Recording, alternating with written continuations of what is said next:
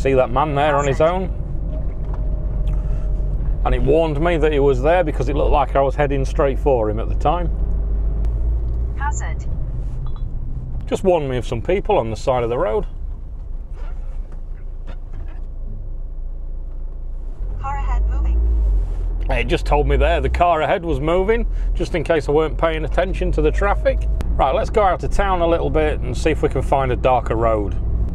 Right, we're just about to head onto a truly dark road. Uh, this is the last of the streetlights now. So as you can see, that can see the road well ahead in front of me.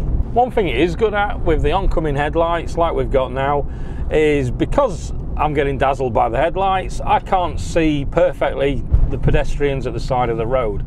And it does give me the little gonging sound and it warns me of them.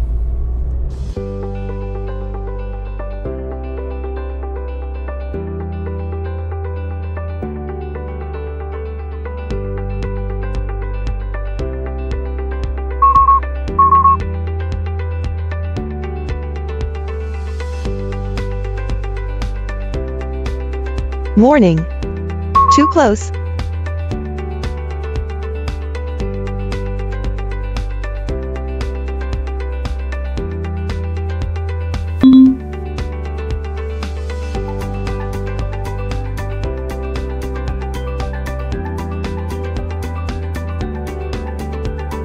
Car ahead moving.